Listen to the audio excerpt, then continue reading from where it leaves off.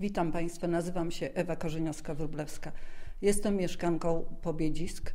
W 1983 roku ukończyłam Akademię Medyczną w Poznaniu. Jestem lekarzem pediatrą.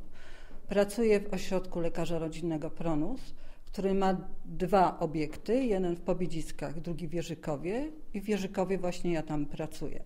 W związku z wykonywanym zawodem głównie chciałabym zająć się ochroną służby zdrowia z naciskiem na profilaktykę na dzieci i młodzieży. Szanowni Państwo, bardzo chciałabym, aby dalsza współpraca z przyszłym burmistrzem i Radą Miasta i Gminy Pobiedziska układała się na stopie przyjaźni między podmiotami służby zdrowia. Dziękuję.